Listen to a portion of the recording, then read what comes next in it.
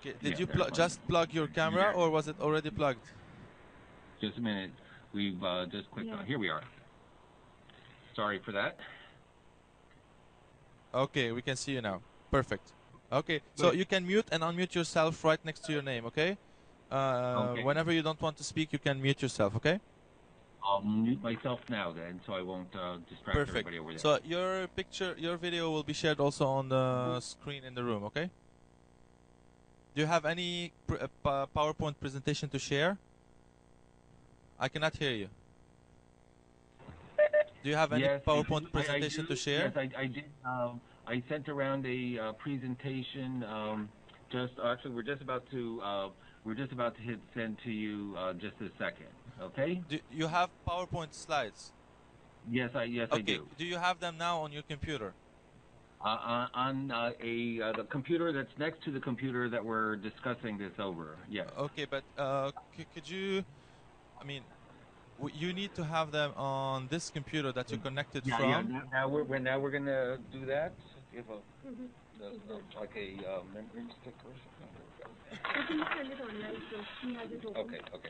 So we'll, we'll hit, just stop messing around. Yeah, We're done. yeah. Just hit, hit, so hit send so it goes over. Mhm. So we'll, we'll get this over just in a second. We're just Okay, I just Uh, need to to to go to uh, the top menu. On the top menu, Mhm. there is share. Okay, Mhm. and then file, and then you choose the file from here, your presentation file. Okay, Mhm. and then you'll be able to uh, uh, broadcast your uh, presentation through the remote participation platform. Okay. got it, got it. Yep. We'll, we'll we're just doing our last uh, things to uh, get that over to this uh, the the right file to the right computer so we can get that uh, shared. Okay. Um, because they're they're about to start, and I think Yes. you're next. Uh, so I'm we gonna- need to make this work. Okay, well, let's see. This is the, uh, wait, thi- this is the, we want to make sure that we get the right, pre- this is, the- this is, no, this is the internet government, uh, this is, uh, the standard for digital No, no, no. This is the uh, this is the this Yeah, is the economic- room number three. One economics. forty three. Okay, make sure, okay. Yeah, economics. Economics, great. Room number one is Okay. there. Yeah, so go down, go down, slide, go down, these are all, keep going, keep going, keep going, keep going, keep going, going, keep going. Um, no, we'll be in this next group, keep going. Okay. Keep going, keep going. Okay, stop. Hit the there. The uh, The the last modified. the last one. Those the last one there. One. Okay, this is. So Lee, so. Lee, are you, uh, did you have the file now? Yeah, we're uh, just uh, just getting it over to the right machine. Just uh, we'll have be there in uh, Because I have 30 to leave seconds. the room very soon. So um, Okay, well, we're we're uh, we should have. Can you pull it up now?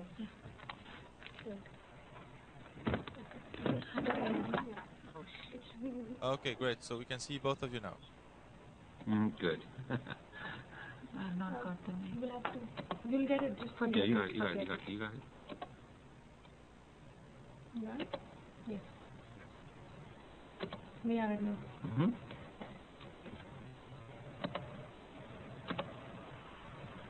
So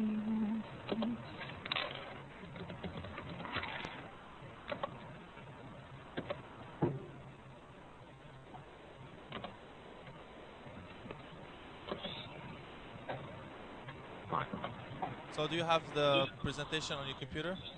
Uh, yeah, we're just getting it up. So uh, Lee is preparing. Is putting his presentation. Is he next or? We'll be there in uh, 30 seconds. There it is. No, no. He will. will it will be on the screen. Don't worry. Yes, you can start. By that time, uh, Lee will have his presentation. Okay, great. Okay. So uh, Lee, Re- Lee. Yes. Uh, the, w- the, uh, okay. So presentation is here. So uh, the moderator will start, and you're next. Okay. Okay. Thank you. Thank you. No, we can do something. We'll just- This is the- Put the charger. अभी जरूरत नहीं थे वैसे They, they're all over there. You're going to get people dizzy over there. So keep, keep moving. तो okay. Hmm, Okay. And you should probably let um, the other conference, you know, the, Oh. the panelists know that I'm starting here and then I'll go over there. Okay. So in the connect, this, this cell not started at, message them. I think they are not, it's fine, they are not started. Okay, but um, let's see, I'm not hearing this, but I'm seeing like there's, or is that just showing that? Yeah. That's there, there, it's not, it's not, there, I'm not missing That it. is the third one, right? Yeah, okay, Yeah, so, Hello, one that is- everyone.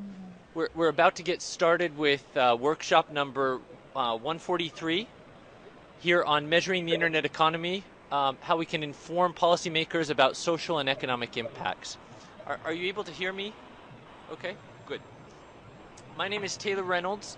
I'm from the OECD and I'll be moderating this session.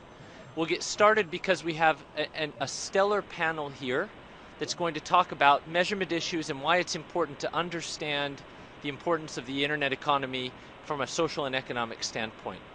I'd like to begin today uh, by setting the stage a little with a PowerPoint that I put together, and then I will toss over to uh, each of the present, each of the panelists, who will talk for roughly seven to ten minutes, provide you with insights from their perspective, and also give you an introduction about themselves and what they're doing. So I'll move over and uh, continue this presentation from the uh, computer.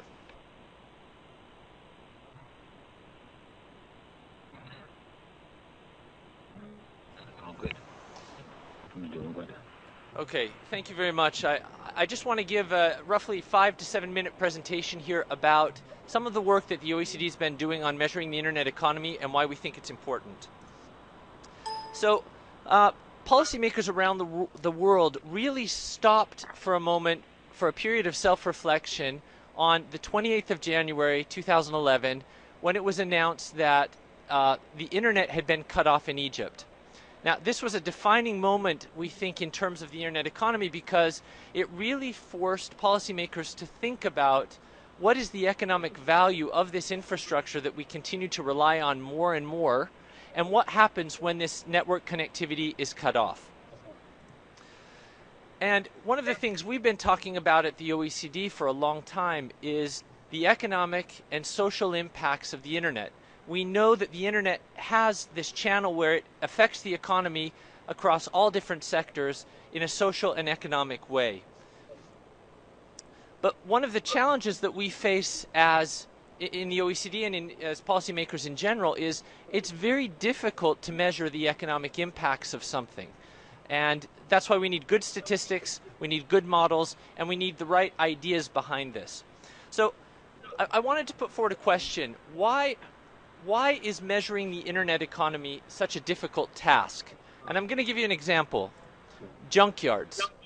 Now this is something, uh, a- junkyard is a place where uh, when you have an old car that doesn't work anymore, you take your car to the junkyard and uh, it's sold there for scrap parts. That means you can go to a junkyard, you can buy different parts for the car uh, when something breaks on your own car. But what they do is they aggregate all of these old cars together.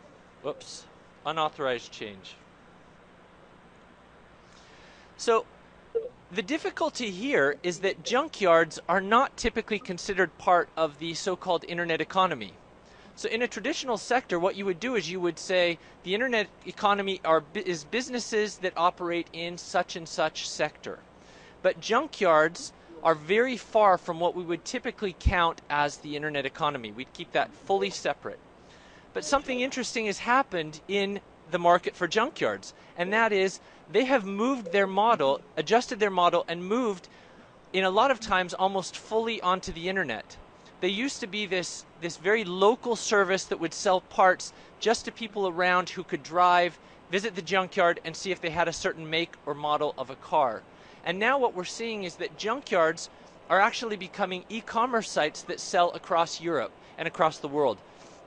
Um, I, I put up a site here. This is a this is a French uh, junkyard out in an area that's rather remote. And what they do is they sell their parts for their cars across Europe and across the world. You can see that their website, this is for a junkyard, is available in two, four, six, seven different languages. So what they're doing is they're marketing their parts over the internet. And what we see is that junkyards have become an integral uh, user of the internet. And so it's very difficult for us to say, well, how do we measure the, the uh, input of junkyards into the overall internet economy? So, what we did at the OECD is we decided this is such an important issue for us to understand as policymakers are considering, for example, rolling out infrastructure, considering what are the policies for an open internet, that we thought we need to have some good measures of the internet economy. So what we did is we held an expert roundtable back in September 2011 where we brought together uh, more than 50 academics, private sector people, think tank workers, consultancies, and governments together to talk about uh, how we come up with, with uh, methodologies for measuring the internet economy. We asked Bill Lehr of MIT to come uh, moderate the discussions, and we commissioned five different papers that looked at different aspects of the internet economy, and you can see the list there. They're available on uh, the OECD website if you're interested. And what came out of this of this research that we did at, of this expert meeting was essentially three different approaches that can be used to measure the internet economy. On one hand, we'd like to know what is the direct impact of the internet. In other words, what is the percentage of business output or the percentage of GDP that can be tied to the internet? That's approach number one. Approach number two takes a more dynamic look and it says things like, uh, if you have the internet, how is that going to help the economy grow? So, what's the dynamic? How is the internet in increasing the size of the overall pie in the economy? And then, third, we thought there are plenty of things, plenty of benefits of the internet that are not captured in monetary values. So, we need a way to measure, for example, what is the consumer surplus that comes from the internet, and these are the indirect impacts. So, based on the statistics and the data that we have access to in the OECD, we thought we would begin by looking at approach number one and approach number two, uh, where we could leverage existing data and uh, work on value added that the OECD has done for approach number one. And we could also do some of the academic studies that look at how the internet affects employment, how it affects GDP growth, and we've done that in two different areas here.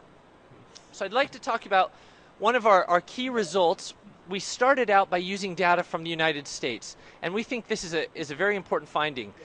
We looked at um, value added, which is the value created by businesses in the United States, and we found that at least 3% and up to 13% of the United States business sector value added can be attributed to internet related activities using national statistics from the United States.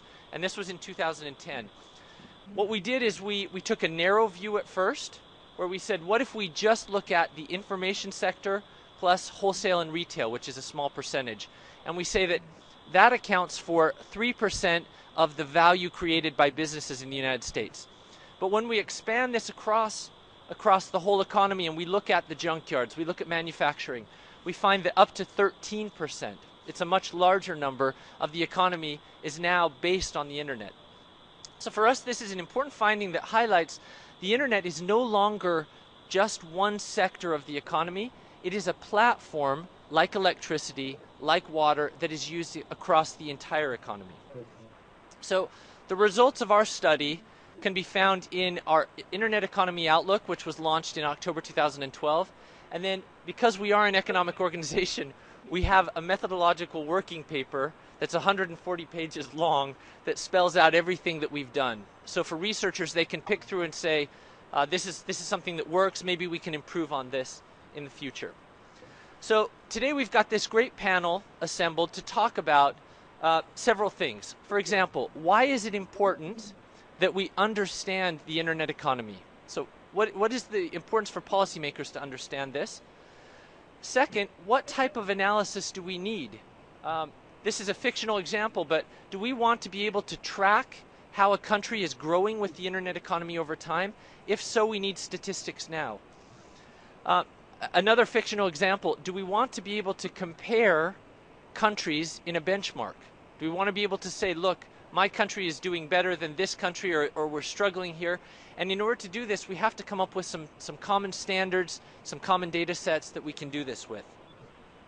And then finally, I think one of the things that would be great to touch on is people here at the IGF understand the importance of the internet. I think the fact that you're here uh, and that you're trying to connect to the internet all day shows that we understand the importance. But how do we convey this to policymakers who may not be as in touch with the need for internet access?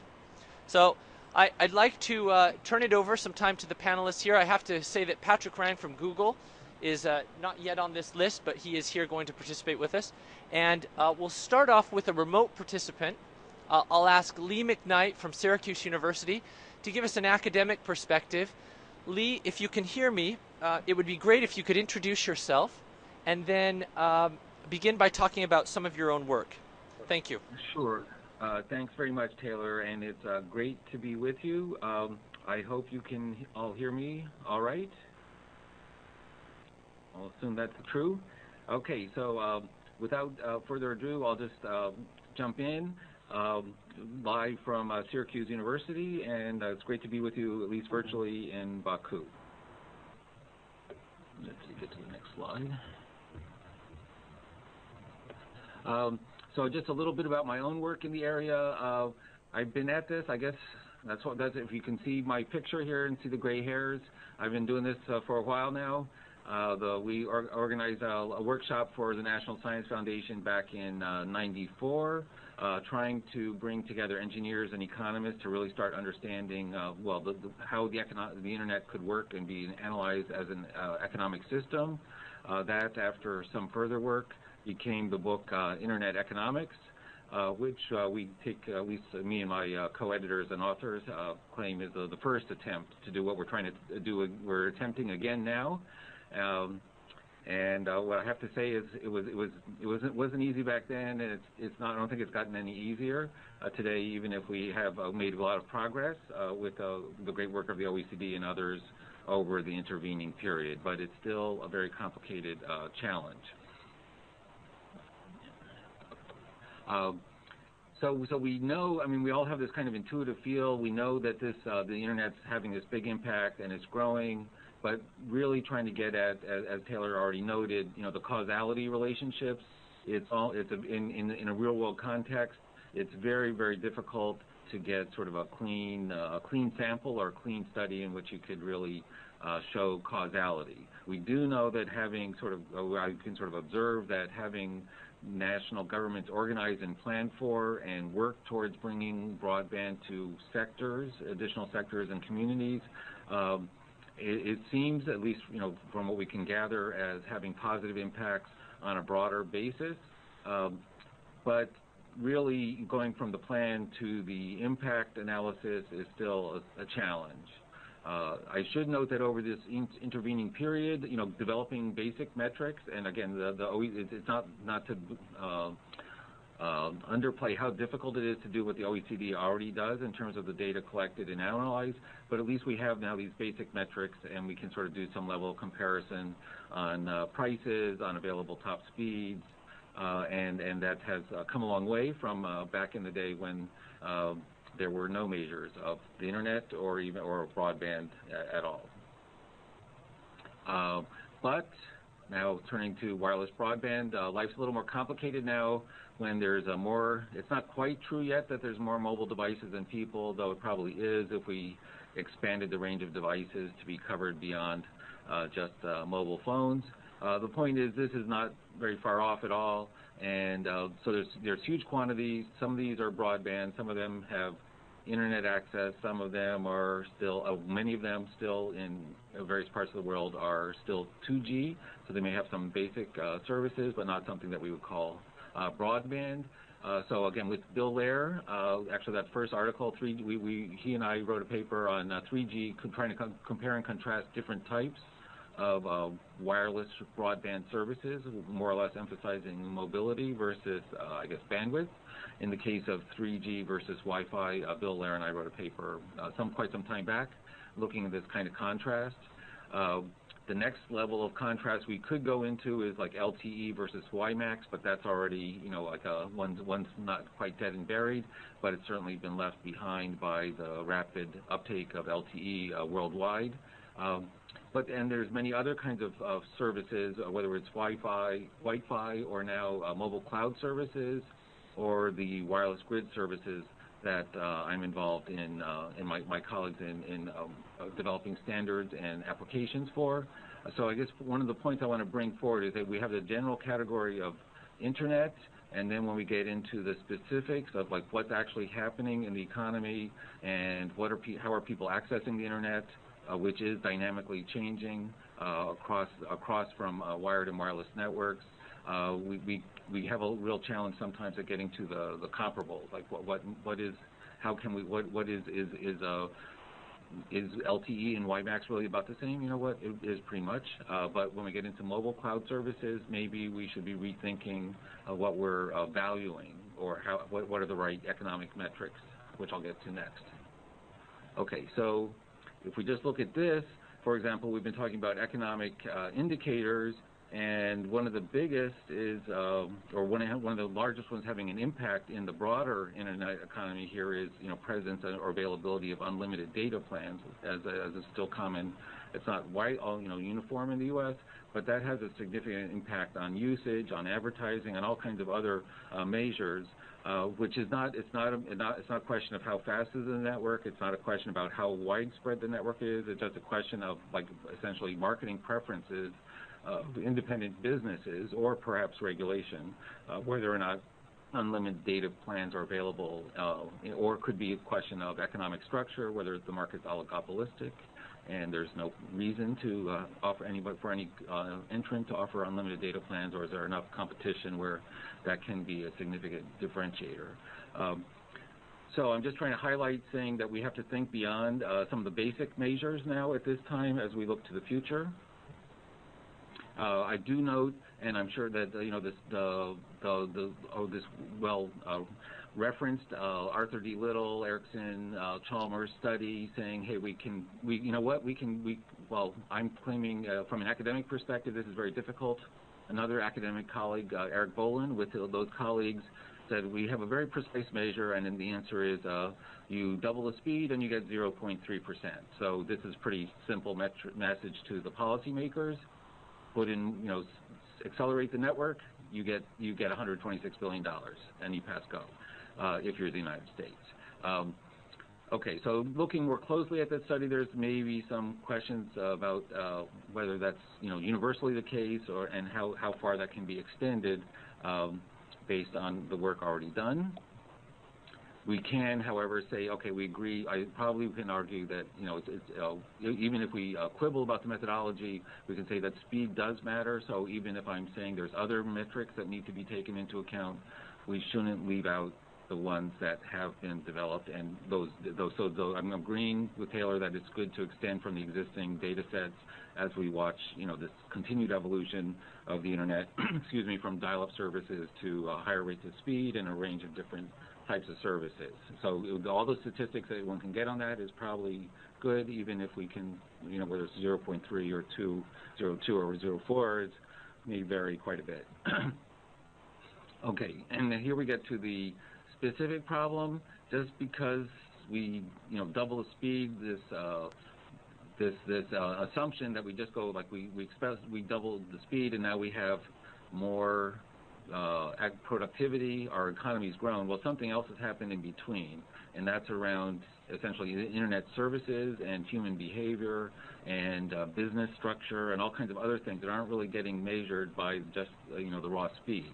Uh, so, for example, to make it real simple, you know you have a higher speed uh, uh, uh, dense wave division multiplexing fiber doesn't meet you know doesn't make your economy more efficient or, or more productive. In fact, there's a lot of those fibers lying around that are just essentially, you know, dark. They're just they're they're they're available and nobody's lighting them up uh, all over all over Europe and North America. In other places, they're lit up and they're being used for productive purposes. But just the existence, in other words, so, so the existence of capacity on the internet or speed doesn't automatically uh, grow an economy. And now we get to the other problem. I'm not sure if I'm a downer starting off the panel this way, but I say, well, I'm not sure we're really measuring the right things for the future. as we get beyond, we have these, we still need to have these basic basic measures that the policymakers may be more or less familiar with or can, you know, relate to, like uh, speed and uh, and, and some other service characteristics. But but we're really getting into this as, as at least my own sense and my own research, recognizing that it's these uh, what we're calling internet service qualities, and the economics of these service qualities matters more than these kind of raw metrics like broadband speed. Uh, and that that's now we're getting into now we're getting take it one step further when when it's not even that it's not even the internet it's like the virtualization of markets and global markets that's really that's I think where there's huge economic impact and that's tied to the internet it's crossing the internet it's more than the internet just as Taylor's example about you know the the the um, the junkyard is still a junkyard, but it's now doing transactions in this. It's like it's now it's a virtualized global junkyard uh, that has a wider reach than it ever could have before. So with the virtualization of uh, resources, uh, which is really what cloud computing is about, um, we, we're and we're, we're getting into uh, like a whole. You know, there, there's some examples of virtualized uh, realities or, like the whatever Second Life, which people are familiar with, and people are sort of walking around and they didn't really accomplish very much. But it's it's gone much further now in that uh, essentially everything's happening on virtual machines, uh, cloud with cloud computing, a whole a major uh, and the enterprises are virtualizing all resources, uh, which takes them to another whole level. So it means then that we have this uh, need to come up with new metrics that look at these uh, technical content and service features or even social features together and get at some, you know, how is innovation happening. Uh, so this is not, this is definitely not easy, but just to make it one concrete example here, uh, you know, Twitter, pretty big part of the internet economy, pretty insignificant user of bandwidth because they were just sending around these 140 character things, so it's, it's not, it's not that it's be consuming a lot of bandwidth. I'm not sure how much productivity uh, Twitter helps, but getting back to that sort of social impact uh, on society, uh, we, we, we, have to keep in mind that things like this that are very sort of just just having a very a few you know bits available, can you can do Twitter, and it obviously had a huge impact in the Arab Spring and other regions. So, uh, which gets to saying we have to be thinking about the, like I said, the internet economy is an economy of services, and we these pipes and infrastructure that underlay it are still important and they're still significant, but they're from an economic impact part, they're a uh, smaller part. So uh, just to get to this bottom point here, if we're just measuring bandwidth, then uh, we're rewarding you know fat and dumb networks and punishing small and agile services. Uh, we, for policymakers, which would then be essentially we're rewarding the waste of energy and uh, harming the environment through inefficient networking. Uh, so that's not what policymakers, I would think, would want to be doing, but that's in effect what they're doing if they're not developing more sophisticated ways of looking at this next stage of the virtualized market economy. Okay, now uh, if you would like me to spend the next uh, half hour or three hours explaining this diagram, I would be happy to do so. Uh, but, but the main point here is to highlight that we have uh, been working with the Enterprise Cloud Leadership Council, many major multinational CIOs who are essentially looking at virtual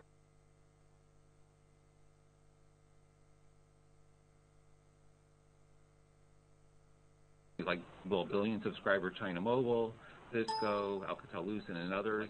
Uh, so we're get, really getting to another stage. I guess my message is where uh, the broad, the internet economy now uh, is also a sort of a cloud economy, and that is coming on very rapidly, and will have a significant impact in, in terms of employment, in business structure, market structure uh, that needs to be thought about, and um, metrics also developed for this new world we're entering into, which I won't elaborate on now.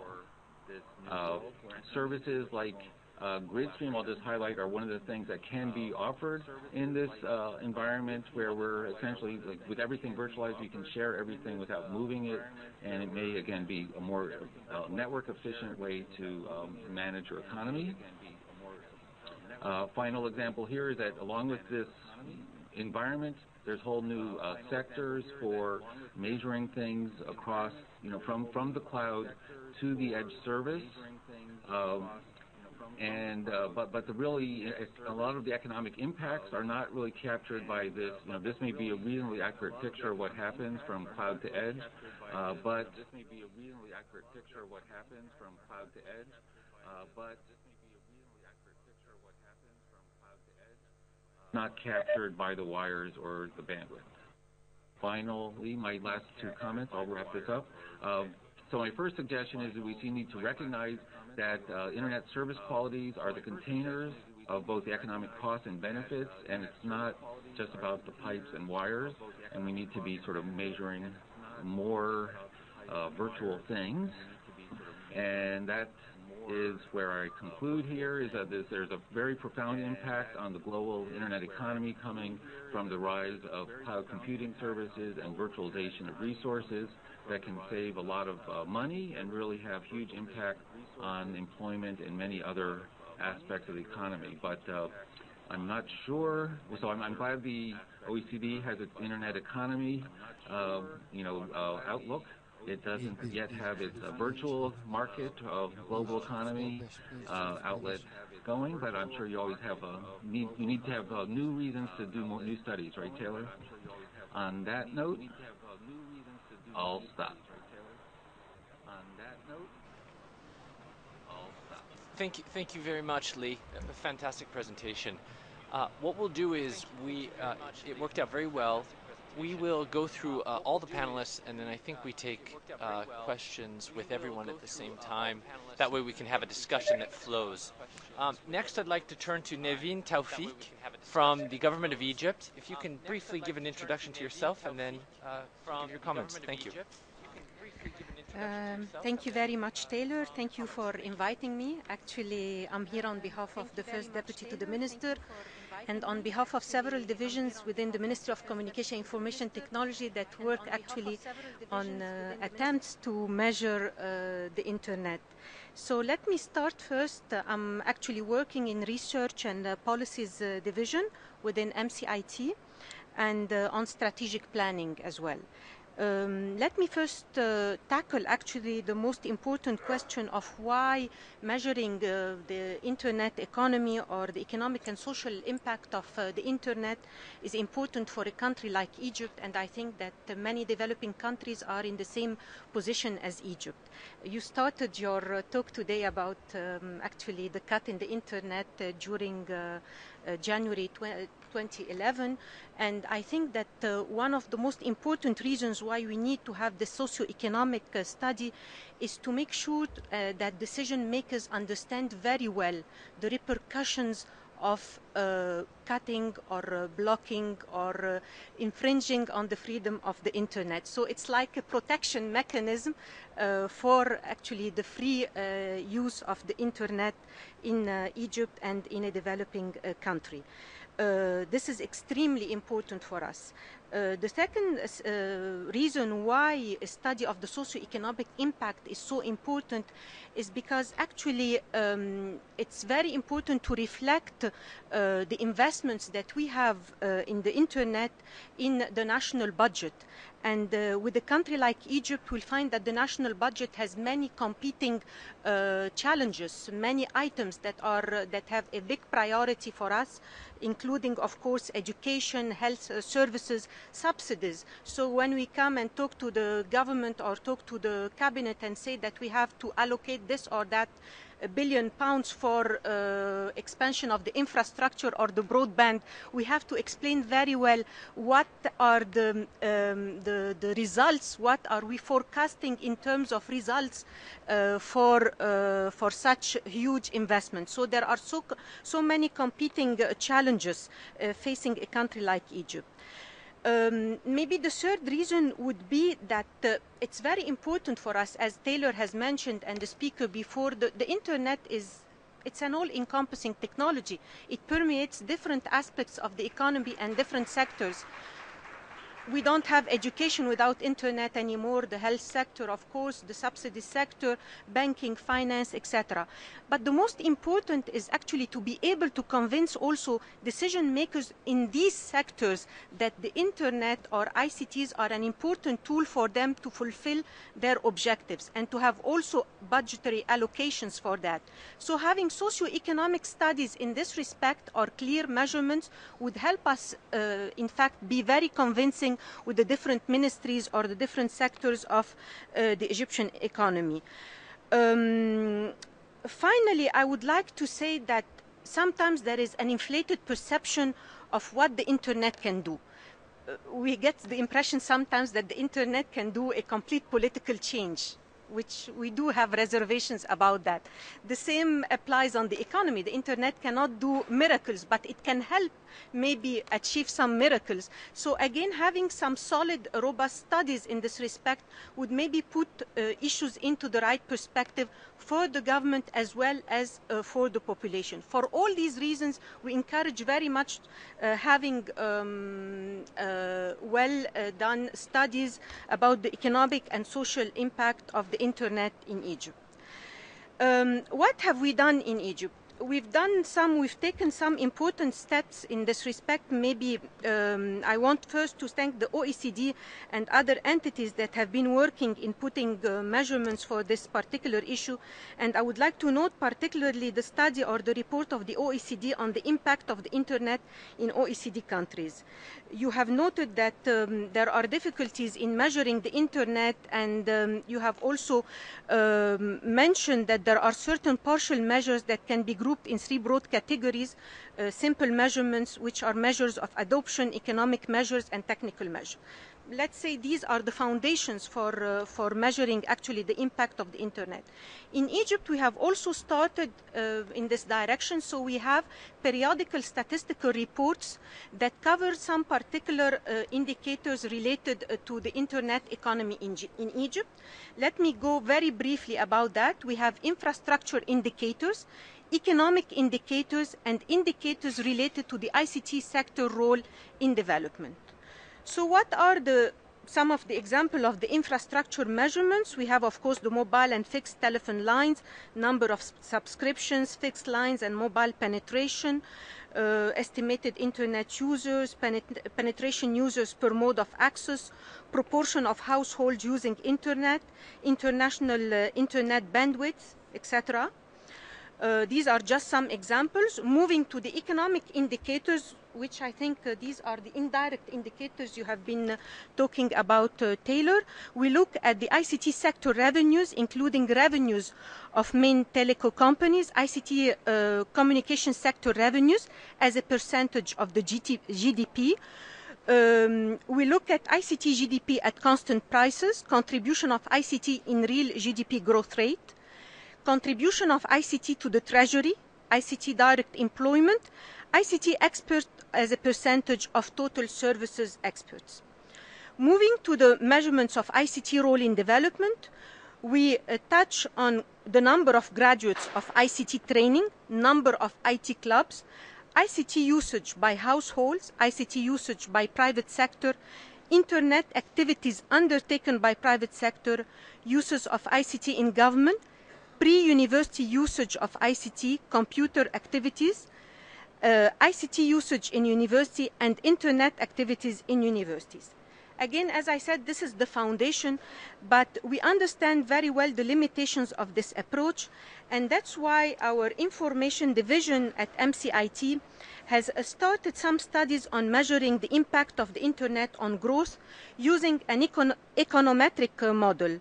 This was done three years ago, and now they are uh, doing a second part for that, and in fact looking at different econometric models. They haven't decided yet which one they are going to use, and I believe uh, maybe the results of this workshop are going to be very important and very relevant to our information division unit to decide uh, what uh, methodology they will be using uh, for this. So this is briefly uh, what I wanted to tell you about uh, what we've been doing in Egypt. We have two other important studies that I would like to mention very briefly. We have an UNCTAD study that was done uh, three years ago as well. And in this UNCTAD study, there was uh, an analysis of ICT policies but within the, the, analysis of the ICT policies that has touched on different aspects of the ICT industry in Egypt, there were uh, very clear um, uh, recommendations concerning what we need to measure uh, in Egypt uh, to be able to grasp really the impact of the internet. Education was a very important uh, sector in this respect. The other important study that I would like to mention actually is uh, the impact of broadband uh, on uh, the economy and let me uh, just share with you this is a study that was done in Egypt and its title is Socioeconomic Assessment of Broadband Development. It was actually done by the World Bank and uh, in cooperation with the Ministry of Communication and the National uh, Telecommunication Regulatory Authority. And the study argues that on the basis of the Egyptian broadband market model, uh, there is, they made the projection that uh, subscribers will surpass 11 million in, uh, uh, by 2020 uh, and that revenues, revenues will reach close to $3 billion per year within the five-year forecast period. However, the investment required for that are 2.2 billion Egyptian pounds. Um, I don't want to go into the details of the assessment, but I would like to mention uh, some of the remarks that the World Bank has made because they have uh, done a case study on education and they have noted actually um, the importance of having better data in education and the lack of uh, quality cost and impact data on ICT and education. Uh, cost data being extremely hard to obtain. So one of the main sectors where we need to have more studies actually and more uh, and better measurement is ICT and education. The impact of the use of cloud computing on uh, the education, uh, the impact of actually virtualization on uh, the, the, rising skills of, uh, of our uh, student body. I have to mention that we have 18 million undergraduates and we have 40,000 schools. So I would say that the educational sector is one of the most important sectors that we need to mention and the impact of the ICT in uh, this particular sector. Uh, well, I'll stop at this point and uh, be happy to answer any questions you might have. Thank you. Thank you very much, Naveen. Uh, it was very interesting to hear about the perspective from Egypt. I think what we'll do now is we'll move to Erika Mann from Facebook to give us a perspective from Facebook that has a lot of data that maybe could be used to help us understand the internet economy. Thank you. Thank you so much, Taylor. Um, I'm with Facebook now uh, since uh, since a year. I'm, I was a member of the European Parliament from Germany until 2009 and uh, for 15 years built my own uh, um, uh, company thereafter. I had a company before I joined the European Parliament as well. So, and I'm very familiar with the sector um, since the since the early 90s, maybe even before. Um, and my understanding is my feeling what we're trying to do now to capture the data uh, for the for the internet economy. It's extremely important, extremely relevant because it's, it's important for government, but it's important for legislator as a whole, because when you frame legislation, you want to frame legislation based on data and based on the right understanding how the economy actually functions. Now, there's some, um, when you look at it, um, we, we, have to be very clear, the, the image we still have in our head uh, when, when we talk about the ICT sector and the ICT industry, it's still to some degree a quite old-fashioned uh, understanding because we are all um, our all our understanding, uh, including uh, to some degree all the studies uh, which we have seen so far, are still very much based on the telecommunication sector, on the software industry, and um, I think we have a lack of understanding about a really truly new economy which relates to the internet sector as a whole and the internet economy. So my, uh, my sense of understanding what we have to do, and I'm very grateful for the, all the data the OECD did, uh, McKinsey did, many other um, actually studies which are out there on the market now. I think what we need to do, we have to be much, we need to tailor our understanding much more precisely on what kind of sector are we talking about. Are we talking about the social media business sector? Are we talking about um, the, the impact the search uh, industry gives to the, uh, to the internet economy as a whole? Uh, so what are we really capturing? What kind of data are we really trying to capture? And then we have to translate this into the right uh, recommendation and the right um, implications um, depending on what we want to understand and what we want to achieve. There's another factor I think uh, very important. What we haven't understood really well is how um, the in internet economy really relates to the traditional uh, sector. Because when you look at it, um, most traditional sector, the car manufacturers, the logistic companies, the health industry, the, um, um, the um, insurance company, the banking sector, all of them use, of course, uh, the different uh, to ICT and to the new internet economy related sectors and datas, and they work with them, they implement them. Uh, um, the users are using many of the services through Facebook or through other social media uh, tools available on the market. So we, we, really need to look into these effects as well to understand the so, uh, socioeconomic impact in the right way. Second, I think what is important, and I think Taylor, I think it was you who mentioned it, and, and I think you as well from the uh, Egypt uh, ministry, it's, we need to tailor it really so that we understand what kind of effect these data have on our own economy.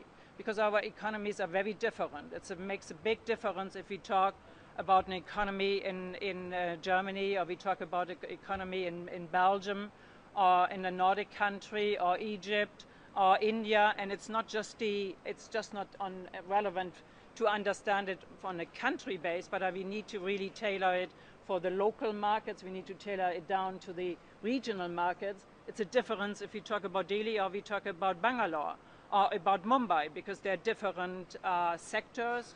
Um, so we need to really understand this in the right way, and I don't think so we are there yet. Um, we did our own little understanding because Facebook is again very different. That's maybe the third point to understand as well, is really to understand this, um, the, um, the uh, different business model uh, ba based on the uh, new internet uh, economy um, uh, Facebook is very different because we are what we call a platform-driven um, system. So we enable others to use our platform and to work on our platform, small companies, large companies. Um, and um, this is, an, I think, an, an, economy which needs to be understood very well because it gives many opportunities for small business uh, from all over the globe uh, to use it uh, appropriate to their needs. Um, and so these to measure these effects, it's very hard and very complicated. Now we did a very short, uh, we did a study uh, which was done actually by Deloitte um, to understand these, um, uh, uh the, understand the measuring the economic impact uh, Facebook has on on the United States. So we did one study for the United States, and we did one quite recently uh, for Europe, which was done and came out in 2011. So, and I just give you some numbers, but please keep all my my uh, my points in mind. That of course it's still very we are very young phase and a pioneering phase of understanding all these data and understanding all this impact uh, the different um, uh, sectors have on the overall internet economy. So what we came out, what Deloitte came out with was for these are numbers for Europe. So the central estimate of gross revenue enabled, enabled by the activities of Facebook um, is, three, uh, is in, in, euro 32 billion. Uh, the revenue converts into an economic impact of in, in euro 50.3 billion and supports 232,000 jobs. Um, so when we say enabled, it means it, these are not numbers which come from our own activity only. They capture our own activity as well, but they capture all the activities by all of the partner firms we are working with. So either the partner firms which are using uh, Facebook as a platform or revenues generated through advertisement. So this is all captured in these, uh, in these numbers. Uh, so I think what we, uh, what we have to do in the future, we really have to understand these different sectors extremely well. And it would be great if actually the OECD could do such kind of study, really looking into the different, uh, based on the studies which are already available maybe, maybe even a meta study would be wonderful. Maybe we do not have to do, you know, generate a complete new study, but maybe use all the data available from Deloitte or from McKinsey, the one which you have done, uh, the one which are done on, uh, you know, from, from, from different um, uh, systems, uh, and then to measure them and see, uh, okay, these are the effect, impact which comes from social media, these are the impact which come from different internet-related uh, business models. just give you one little tiny example from a, a small company one of my one of my favorite um, um, uh, one of my favorite company. It's based in Germany. It was created about three years ago. It's still a small company, Wooga. It's a game developer who works and, and uses the Facebook uh, platform. Um, they have more. If I'm, uh, they they um, have more than 60 uh, million users now generated on Facebook. Um, if I'm not mistaken, um, their employment increased dramatically over the over the last three years. I don't want to give you the number. I, I recommend you check out Wooga because they hire so many people uh, monthly that I don't want to give you the wrong number, and I don't want to give you the wrong numbers even about their revenues. You can find this. It's Wooga W. Um, um, uh, uh, uh, O O G um, uh, O so Wooga, a company in, in Berlin. And this is just one of the success stories. Um, and I've, i think we have to understand this so much better to really talk, talk about the positive effect the internet economy brings to our society and to our economy. Thank you very much, Erika, for that perspective and, and for the statistics. And we'll go check out wooga.de. Okay, fantastic. Uh, if we can continue with Bill Woodcock uh, to give us more of a technical perspective, because just to, just to put this in a little perspective, at the OECD we use a lot of statistics that are gathered from national statistical offices, but we should probably be looking a lot more towards the technical community to find out what statistics are available that we could use in these types of economic and social analyses.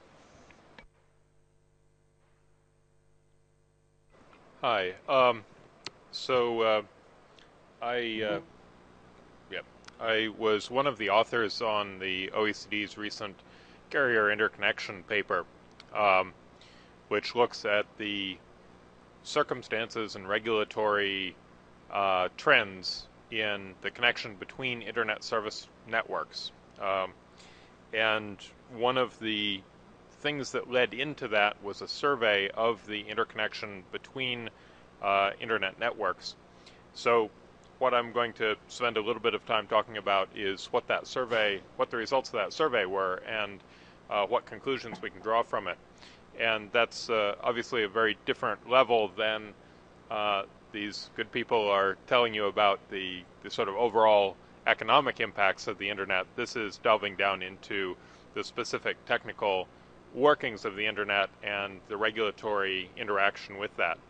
So, um, really, basically, uh, what this survey was was um, a evaluation of 142,000 uh, carrier interconnection agreements. That is, 142,000 pairwise uh, agreements between carriers. The previous largest survey of this type had analyzed 16. Uh, so it was a, a fairly large jump, and we didn't have a lot of prior work to compare this to, so the results were kind of kind of interesting in several ways. Um, so specifically, what we asked is: Is the agreement formalized in a written document, or was it just a a handshake around a common understanding? Uh, does the agreement have symmetric terms, uh, or if you were to reverse the names of the two parties in the document, would it have a different meaning? So, in, in general terms, does that mean that value is being transacted in the document, uh, in, in the agreement, um, in an asymmetric agreement versus uh, a just documentation of common understanding in a symmetric agreement. Um, and then what's the, the country of governing law for the agreement?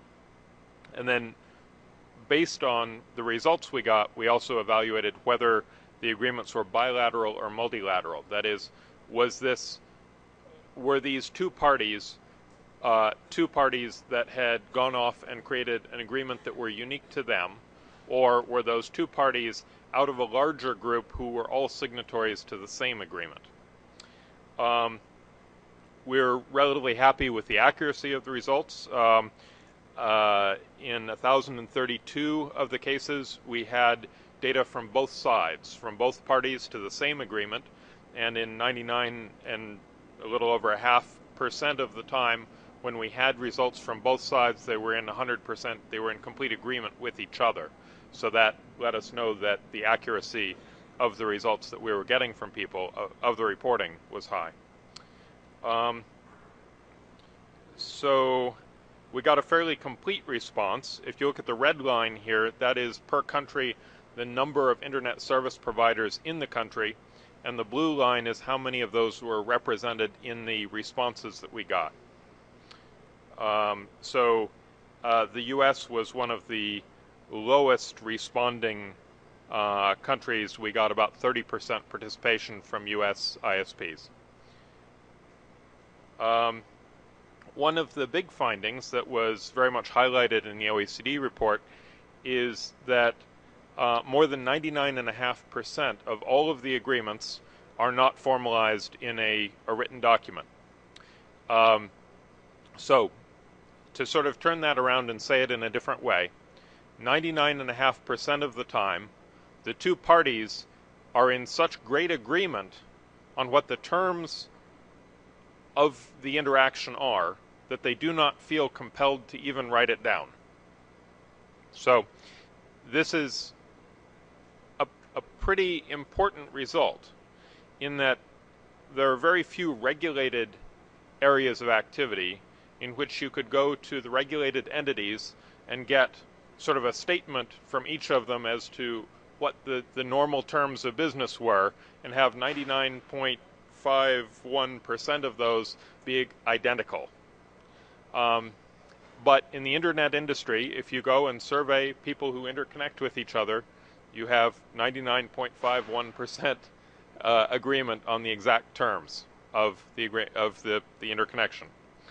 Um, 0.27% had asymmetric terms, so a little over a quarter of 1% uh, of interconnection agreements in the internet have some value being exchanged in one direction or other that is is asymmetric. It's not exactly the same in both directions.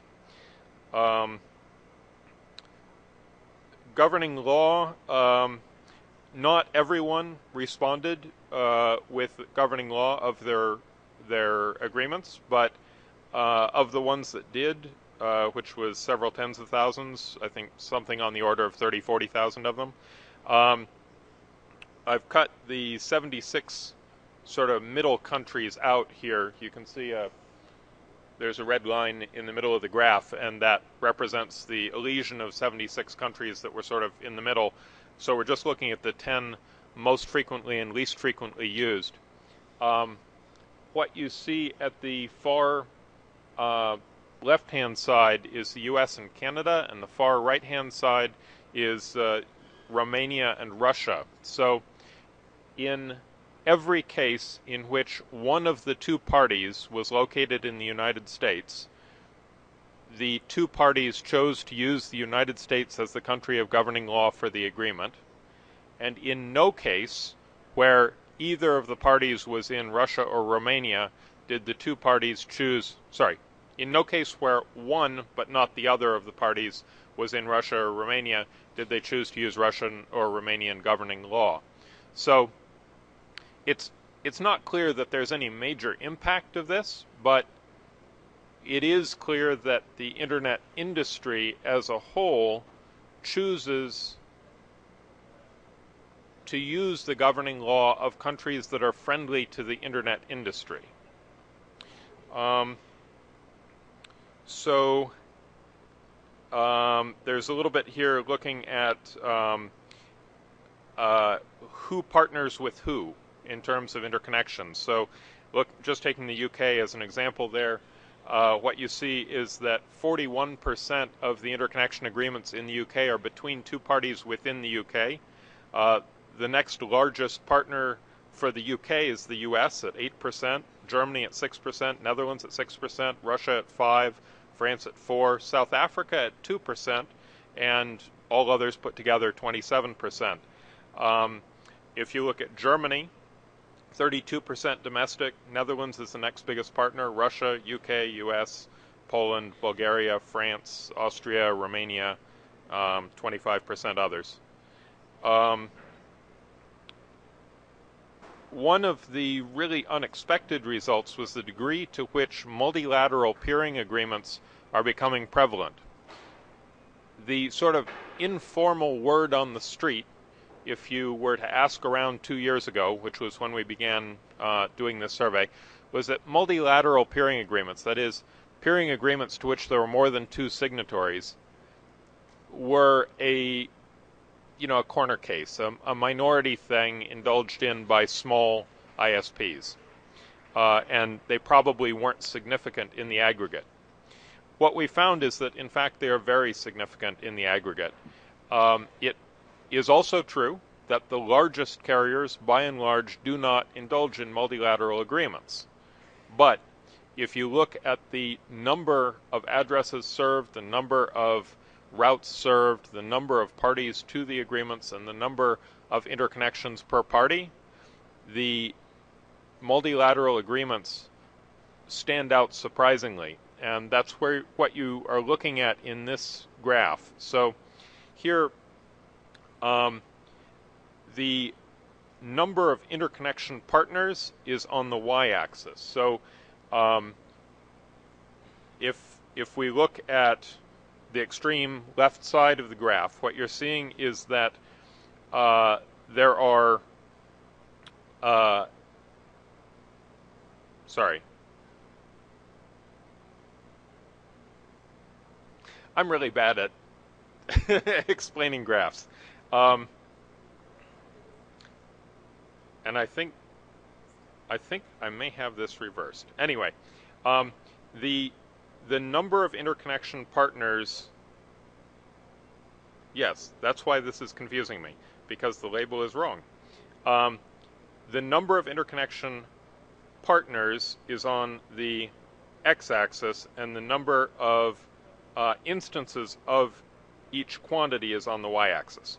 So where you see these spikes of more than 100 instances of somebody with, say, 140 some odd connections, that's Hong Kong. That's an agreement in Hong Kong between um, about 100 different internet service providers, and they've all signed on to it, right? So that's about 100 providers uh, who have uh, 142 uh, uh interconnections each, right? So 100 of those 142 are within that, and the additional uh, 42 are other agreements that that party has outside of that multilateral agreement. Um, so, sorry, 144. So uh, if we zoom in on that a little bit, you can see an agreement at 144. You can see an agreement at 154 that's in Warsaw. Um, there are a few other big ones. Uh, Frankfurt is a, a huge one. Um, the other thing that was kind of unexpected was the degree to which the traditional incumbent carriers have been bypassed by the mainstream. So, uh, in in terms of the number of interconnections, so uh, where you see on this graph, the, the big vertical stacks, those again are clusters indicating multilateral agreements. But um, it's a little hard to see on the projector, but there, there are 142,000 dots on that graph, uh, and they are spread out very much along the, the red line there, which indicate, indicates the trend of number of interconnection partners on the x-axis versus size of network on the y-axis.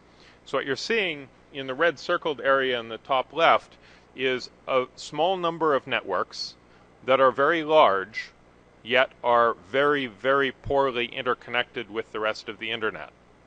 Um, and when we delve into which networks those are, those are typically national incumbents. Uh, and interestingly, identically sized networks on the content side, things like Yahoo and Facebook and Google and Akamai, are exactly on, on the trend line, right? They're, they don't stand out in any way. So we can look at two different kinds of networks that are in many ways directly comparable in terms of size, investment, you know, degree of participation in policy and regulatory processes, lobbying, all those kinds of things, yet uh, only a subset of them, only the sort of traditional incumbents, uh, are outliers in this way. So I guess that's kind of a, an overview of, of the sort of uh, data that we're able to collect from this peering agreement analysis. We also do a lot of uh, work based on information that we collect from the routing topology itself, looking at uh, what what routes, what paths exist through the internet. Uh, we look a lot at participation in internet exchange points and sort of size and growth of exchange points because that's where the internet bandwidth is coming from. We look a lot at which countries have exchange points and which countries do not have exchange points. So countries that don't have exchange points are having to import all of their internet bandwidth from countries that do have exchange points.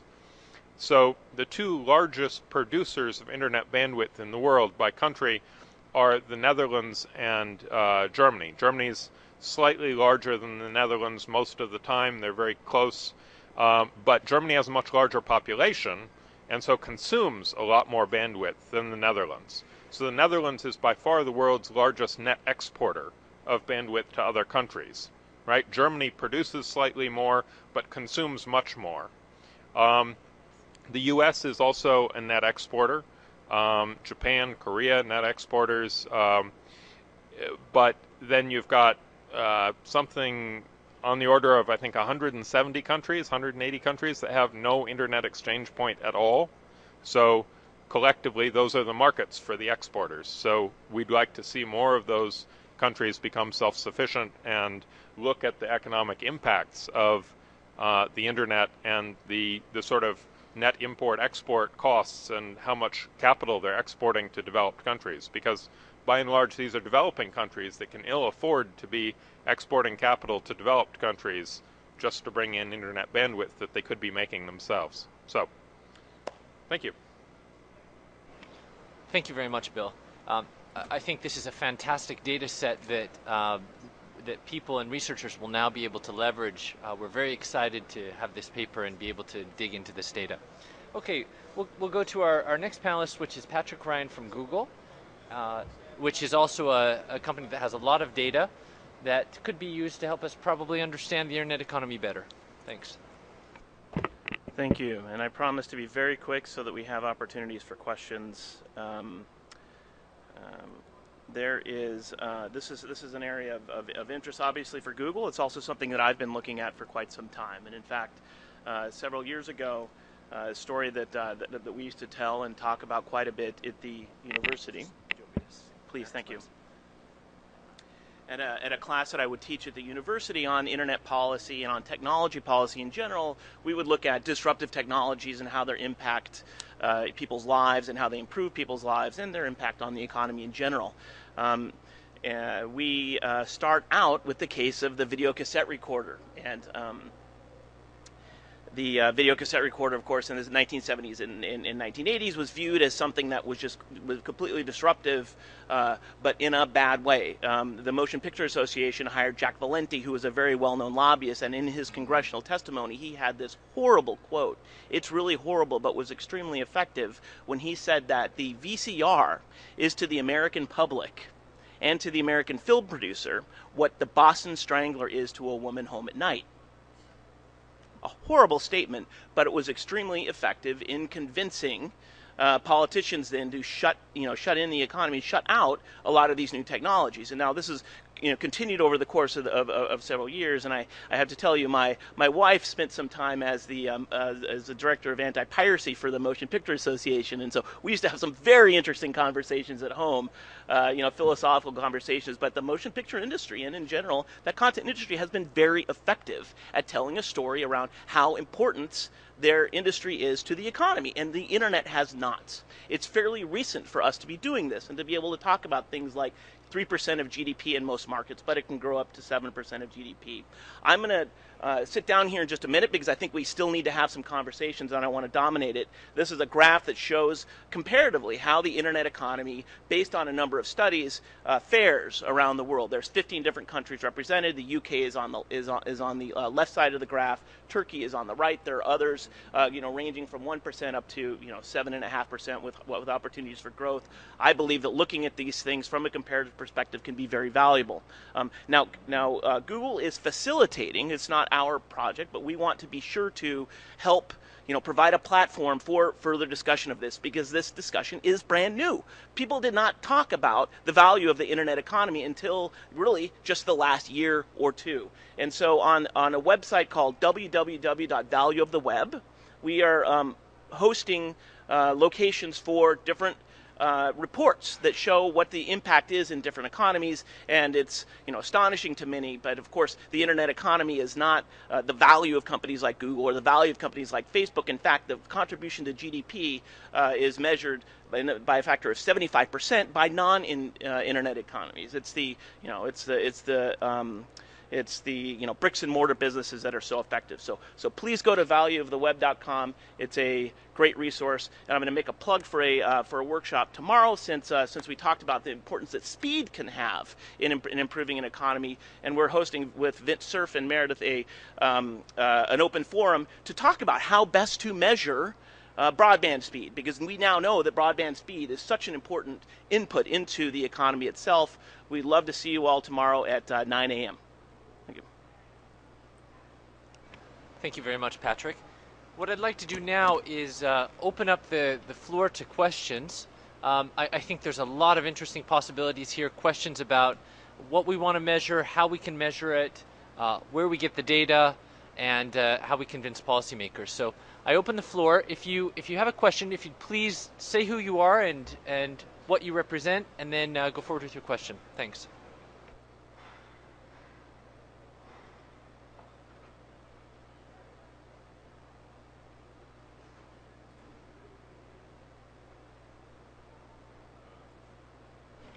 We're looking for the mic. Otherwise, you can come up here and ask the question from. Uh, oh, we've got one. Hi, um, my name is Ory Okolloh. I also work at Google with Patrick, but I am a policy and government relations manager for Africa. And I'm very keen on this uh, question around uh, economic impact, uh, particularly because I interact with policymakers a lot and in our governments getting them to, to change and update their policies without sort of this, they don't buy that the internet is a good in itself argument. So I'm, I'm very keen particularly with uh, the two speakers on, on Facebook, which I think I'm pushing, we're doing more work through Google on uh, to cover impact on, on, but I think even in Egypt we have the same case, whereas previous study commerce, which is not very big in, in our regions, and, and we don't have many online businesses. So for, for the two of you, if you could speak to, I think Facebook would be great to the extent we're seeing increasing, uh, and also um, you had mentioned South Africa, just keen to see whether uh, the work that you're doing could be extended to cover countries where think about impact beyond e-commerce and, and what you think the possibilities are there. Thanks.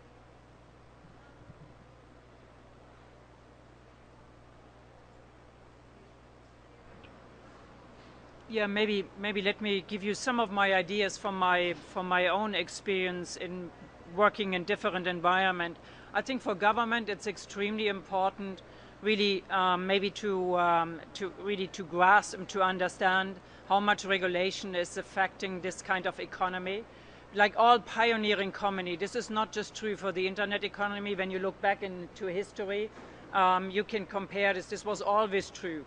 If you come in very hard and very early with regulation and you close down and shut down markets and don't understand the effect very well, it always has an impact on your overall economy and, and your employment rate.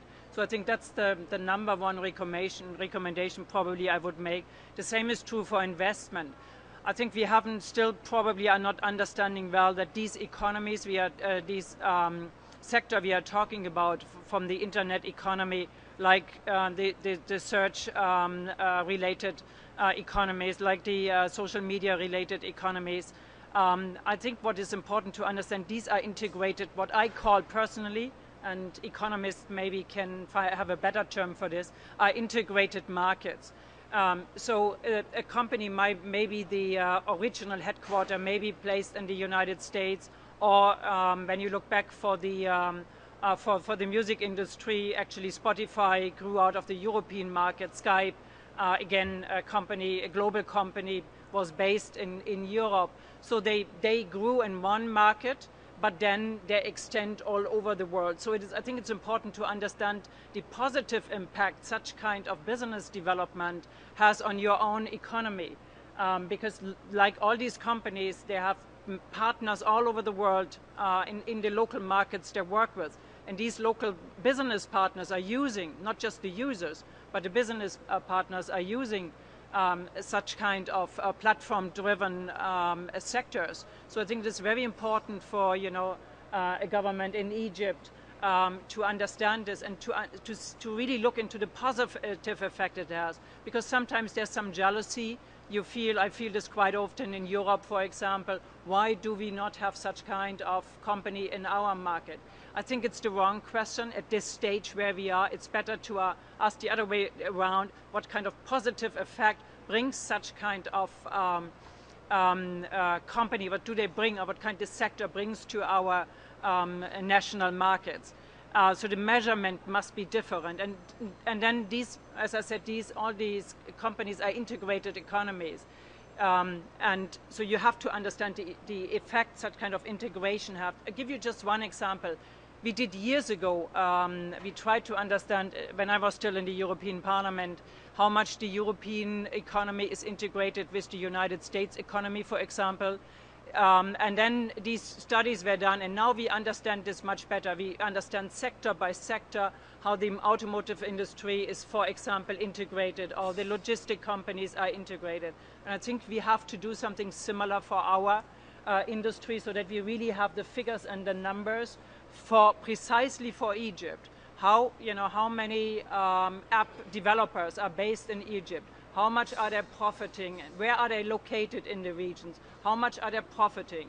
How much uh, do they? What kind of burden do they have? Uh, so that one can remove the burden, so that market access is possible for other companies to enter. But the same is true for app developers or platform developers or whatever they are in this internet economy so that they can extend um, um, that they can extend their business. So localization is important. Understand your local data, understand your national data, understand your strengths, uh, understand your limitation, remove limitation as much as possible. This is even more than ever before an integrated global economy, so just understand it right. So to uh, address the sort of African and South African question, um, I think for us, uh, or with respect to us, it's important to understand that um, the reporting and statistics and publication side of what we do is less than 2% uh, of our work. Um, the vast majority is operations. So the .ZA, uh, CCTLD, um, the .Africa, new GTLD, uh, these are both backed by our operational infrastructure. Um, and you know, conversely, there are 110 other countries and several of the root server operators for whom we host infrastructure in Johannesburg and Cape Town. Um, so all of these statistics are largely coming out of our operational activities. They're a byproduct of the operational activities um, that are, you know, upwards of 100 million dollars a year in in budget. So, um, and those are certainly happening all over Africa. uh, as well as other developing regions. That's not something where there is a, uh, a disproportionate uh, spend in developed countries. Um, I think we're very interested in seeing a um, partners in developing countries who are willing to match that investment with local investment, local reinvestment.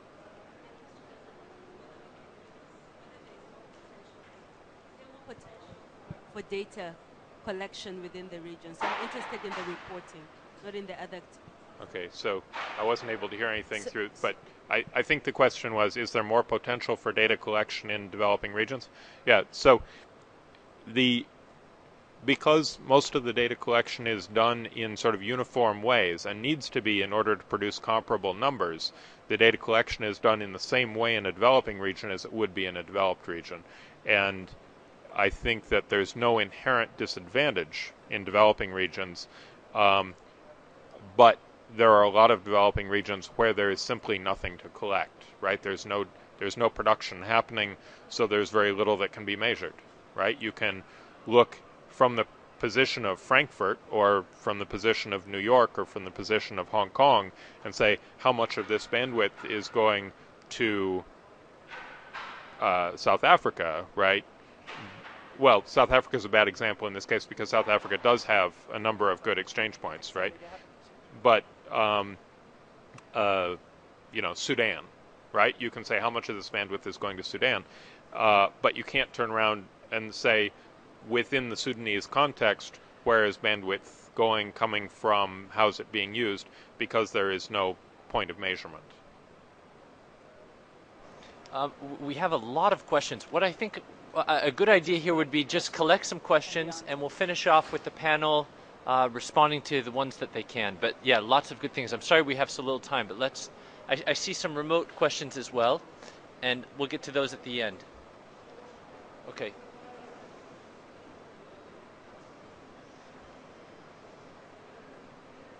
No. Hello? Yep. Um, I'm Louise Bennett from the Chartered Institute of IT. Um, I wanted to know how you were you thought you could measure, um, particularly in companies like network, like um, Facebook and Google, um, the fact that a lot of the economic activity is what I would call barter activity, in that the individuals or companies are allowing you to aggregate their data um, and, so to speak, sell it to other people cheaper access. So how do you capture um, that economic activity?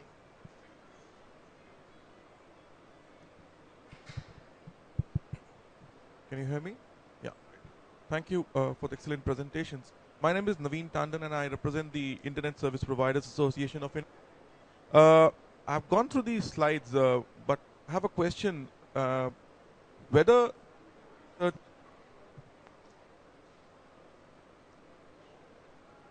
Can you hear me? Yeah. So during the course of your research, has there been any attempt to uh, measure the impact of policies or regulations on the revenue or profitability of the service providers because it's very good that and, and it's been very clear that internet has become a, a tool for social and economic empowerment and change but at the same time uh, if you look at the other side especially the service providers so what impact in terms of delivering of services from the on the revenue and, and, and, and impact analysis has that been touched upon and i would be happy so much yes Nixie needs to be fixed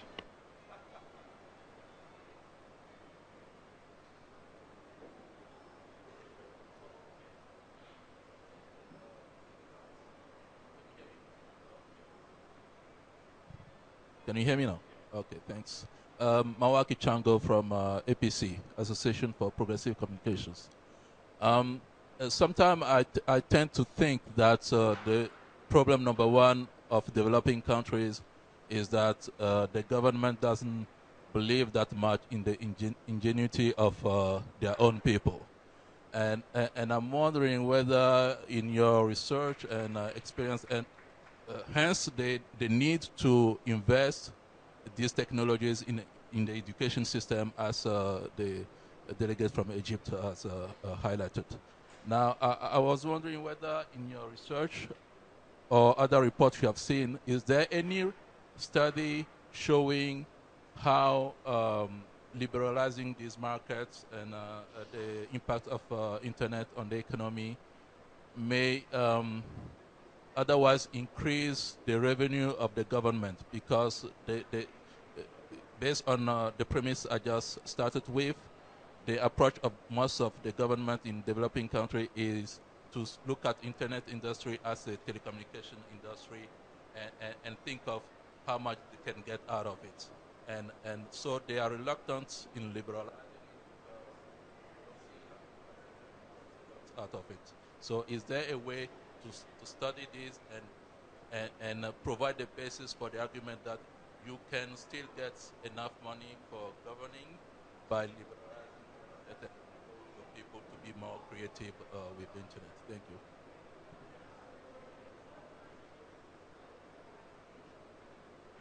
Okay, let's take uh, two more questions, and then one from the uh, remote site. Hello. Hello, my name is Paula. I'm from Colombia, and uh, my question is uh, for Dale. Do you have or do you know studies or research related with digital literacy or digital skills? I mean, the impact to have people with good skills to use internet in a productive way?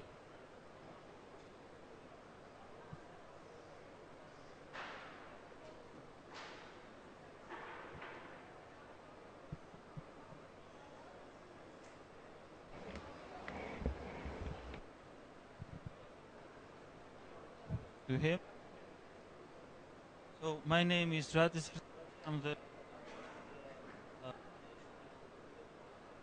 Republic of Georgia.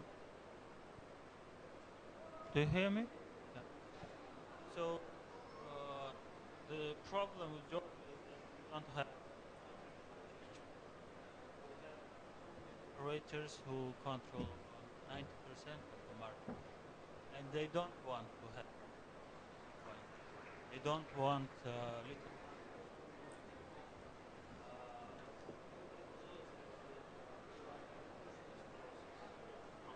to to have a change point and what's your recommendation what can we experience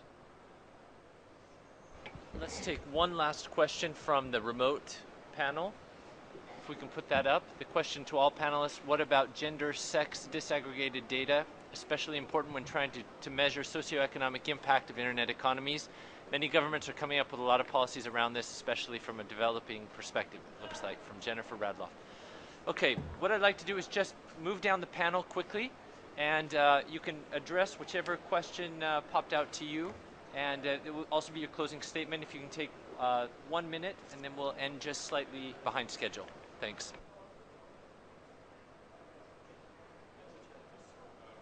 Sure. Okay. So I'm going to try and uh, give very quick answers to two questions. First, how to convince governments uh, to allow internet uh, growth when they're worried about revenue, and secondly, how governments can encourage the formation of internet exchange points domestically. So, first, um, it it is a difficult problem when a government is used to being able to extract revenue directly from a government-owned incumbent phone company. Um, this is an easy thing to do. If they own it, they can pull a fraction of the profits out, and they don't have to rely upon taxation at all to make that happen. Even after they privatize, if they retain a portion of the ownership or if they have a special relationship, they can get that revenue out much more easily than they can from the private sector at large. So, this is a general problem of the effectiveness of taxation. It's not a problem of the internet, right? So, if you look at countries that have difficulty if you look at countries that see this as a major problem, you would find other industries in which that country would be having difficulty extracting tax revenue. And this is a, a rule of law issue. It is not an internet issue. So essentially there's no there's no easy answer here, but essentially what you have to do is you have to tell the government this is not the internet's problem, this is your problem. The internet can grow and create a thriving economy, but if you want to impose revenue taxes, you have to figure out a way of collecting them yourself, right? This is the role of the government to manage its own taxation, right? It, we can't have a whole industry owned by the government just to make it easier to collect tax revenue. Um, and the question of how to get internet exchange points going in a country uh, from the government or regulator's perspective, um, first is just to talk with the ISPs and help educate them as to why it's better not to be shipping all their money to overseas carriers to bring bandwidth in from other countries. Um, and you know why you, you can talk with them about national interest as well but just in their own individual economic interest it is cheaper for them to use bandwidth that they're participating in making domestically than to import it all but um, as a regulator you can also impose as a condition of say an ISP class license that domestic traffic that is traffic between two parties within the country may not be shipped across the national border that takes care of the problem. Um, if you have that condition in the license, they're going to have to build an internet exchange to fulfill the, their license requirements. We are running out of time, therefore I would love uh, to continue the discussion. I'm deeply interested and I would love, I don't know if it's possible for you, I'm not seeing that we collected actually email addresses that we can, at least the, the people in the room which have an interest in, in collecting these kind of data, that we can continue the discussion after the after the session. I'll just quickly say for ICTs and skills, the OECD does have uh, research on this on papers. You can contact me directly. They're available on our website if you search for ICT skills and OECD. Um, just a quick comment uh, concerning um, the question of the colleague from Google. Uh, just want to say that also to push for this uh, e-commerce um, uh, development in Egypt, we are starting research on this subject. What is of particular value to us is to do this kind of research with uh, companies such as Google or Facebook on, or other companies. It helps a lot put uh, the whole argument into perspective and provide the decision maker with enough food for thought that would help the decisions to be taken. So this is a trend that we're having and we're trying to have a lot of uh, um, substantive research before uh, major uh, decisions. Uh, concerning the gender sex desegregated data, this is a very important point. I was looking again at our statistical profile, but there is no data related to women in particular. Uh, so maybe this is something that I could discuss with our colleagues uh, in uh, Egypt. Uh, so these are my comments. I think I'll, I'll speak to the revenue versus uh, growth. How, how, do you convince the governments to give up uh, their revenue since it's a, a, challenge I face constantly, particularly in our region, in countries that still have monopolies? I think what's having success, uh, the other thing they're all concerned about is jobs. Uh, we, and, and I think this is in most emerging markets, uh, and even even more importantly in, in, in the emerged or the developed markets as well with Europe and the US. Jobs is an issue globally.